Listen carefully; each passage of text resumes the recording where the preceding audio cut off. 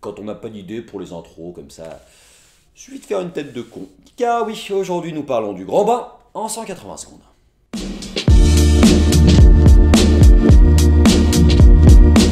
Réalisé par Gilles Lelouch, sorti le 24 octobre 2018, en pleine crise de la cinquantaine, Bertrand rejoint une équipe de natation synchronisée où il va se lier d'amitié avec ses outsiders au grand cœur.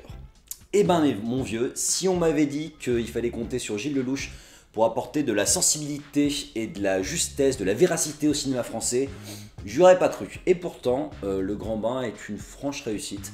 Euh, je trouve que c'est un petit chef-d'œuvre bien de chez nous, un full monty à la française. J'ai trouvé ça assez extraordinaire. J'espère qu'il sera un course au César. Vraiment, je vous invite euh, vaillamment à aller le voir parce que c'est très très réussi. Commençons par les points positifs, je n'ai à peu près que ça à dire. Euh, ça parle de sujets sociaux, ça parle de sujets euh, d'identité sexuelle, ça prend en fait ce contre-pied du mal viril et de sa conception dans la société de nos jours. Et je trouve ça assez touchant parce que du coup on va avoir des acteurs français plutôt réputés qui vont pas hésiter à cabotiner et à être dans quelque chose de... Bah, d'un peu crados pour eux, quoi, qui les dessert en tout cas physiquement, qui les dessert en tant que, personnalité. Et euh, pour le coup, c'est très très bien joué parce qu'on a un casting 5 étoiles, forcément, il a fait venir tous les copains et tout le monde, absolument tout le monde, excelle dans sa partition. Amalric dans son rôle du dépressif euh, qui tient toujours très justement. Canet euh, dans son rôle colérique qui est aussi parfait, Philippe Catherine, tout le monde. là on a vraiment une globalité qui quand même il y a beaucoup d'acteurs dans ce film, c'est un, film de troupe quoi. Et ben tout le monde est là, tout le monde défend sa bonne partition, personne tire l'affiche et ça fait plaisir à voir moi qui suis un acteur et qui aime voir du bon travail d'acteur. Et ben quand on voit ça en France, on est franchement c'est cool les mecs. Euh, c'est touchant sans être larmoyant, c'est drôle sans être vulgos.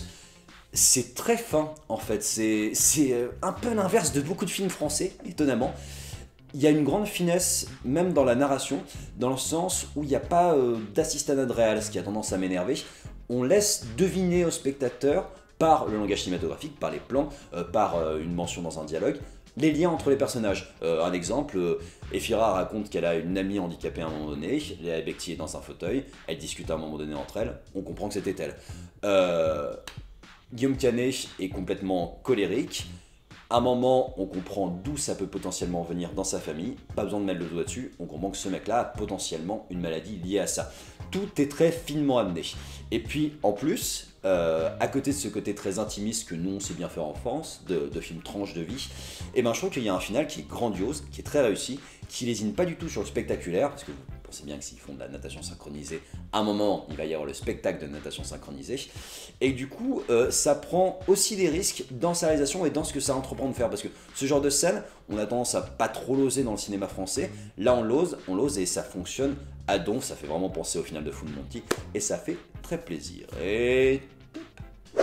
Conclusion de la critique, petite page de pub vu que ça fait plusieurs semaines que je n'avais pas fait de 180 secondes, j'en profite pour vous parler de l'actualité du moment. Si vous avez loupé ça, il y a deux courts-métrages qui sont sortis sur la chaîne Castaway Productions, à savoir euh, Poképlouk et Motion Impossible, donc référencé Pokémon et Mission Impossible. Je vous invite à regarder ça, c'est très rigolo, mm, c'est fameux. J'ai aussi fait ma rentrée théâtrale dans la pièce Bienvenue à la coloc qui se joue en ce moment et à Paris et à Lyon. Moi, je suis dans l'équipe lyonnaise, donc si jamais ça vous intéresse de venir, c'est au complexe du rire, le complexe Café Théâtre. Euh, tout le mois d'octobre, du 3 au 20 octobre, on joue euh, du mercredi au samedi, avec euh, deux dates le samedi. Donc vous êtes les bienvenus, et puis n'hésitez pas à me saluer après avoir vu la pièce si jamais vous venez. Je en plaisir de discuter, de papoter. Tout ça pour vous dire que je vous invite à liker, à commenter aussi, à vous abonner, c'est bien ça. Et puis je vous donne rendez-vous très bientôt pour d'autres critiques en 180 secondes.